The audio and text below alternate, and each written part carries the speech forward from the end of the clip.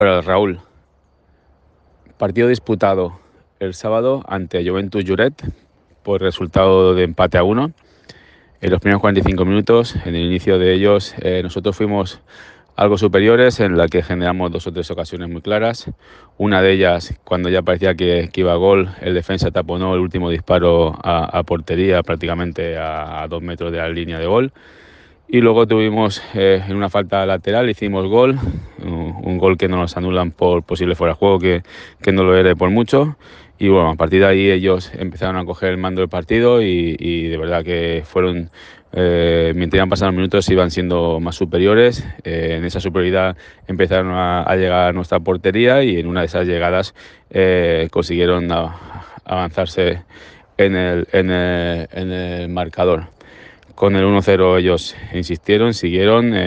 nosotros no, no teníamos una continuidad de, posesión, ellos eran superiores en, todos los aspectos, físicamente, técnicamente, y iban teniendo ocasiones de gol, pero al final con, nos fuimos al descanso con el resultado de 1-0.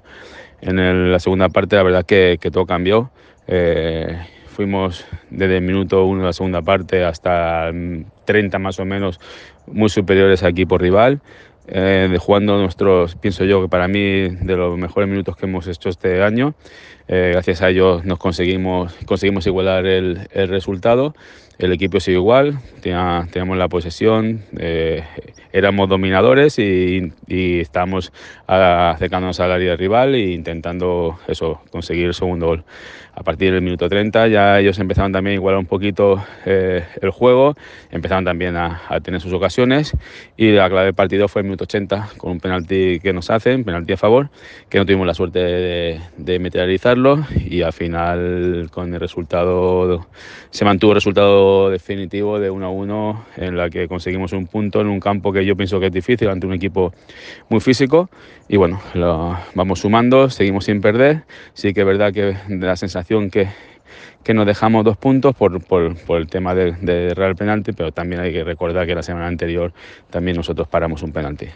Eh, ya pensamos, en la esta semana descansamos y ya pensar en la, la próxima en casa ante Peña de Mar.